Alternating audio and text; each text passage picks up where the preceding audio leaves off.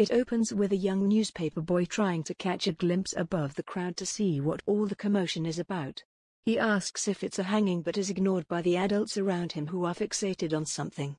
That something is the emergence of Nellie Coker, freshly released from prison, who is returning to her place in London society as owner of a handful of glittering clubs that make up the famous area nightlife. The city is still recovering from the Great War and is in need of some entertainment and a bit of friendly debauchery. Everyone knows that they can count on Nellie and her six children to provide just that. Thus begins Shrines of Gaiety, Kate Atkinson's exploration of this era in London history. The story is packed with as many colourful characters as a Charles Dickens novel. It reads like a love letter to London during a period of resurgence and much-needed post-war decadence that enlivened its nightly hours. Of Nellie's children, oldest son Niven is probably the best suited to eventually take over her nighttime empire. But does he want to do this? Meanwhile, her second son, Ramsay, is thinking about becoming a famous mystery writer, and we are regaled throughout the book with some of his potential dialogue and inner writer thoughts.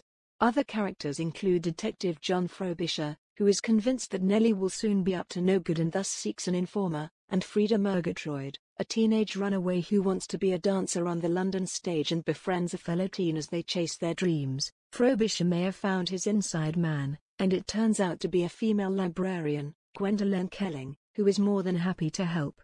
The only issue is that Niven has fallen for her at first sight, and this budding relationship will certainly make it difficult for Gwendolen to do her job.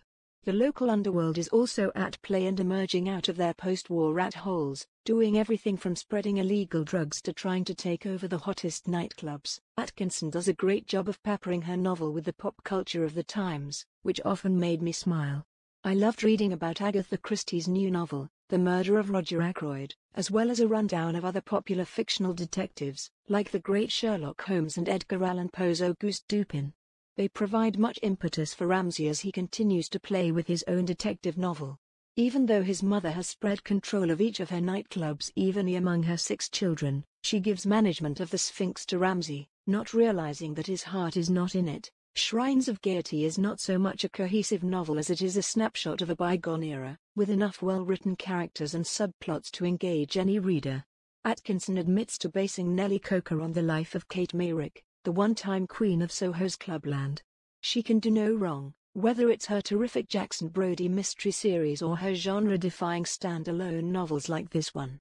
Any time spent with an Atkinson book is time well spent.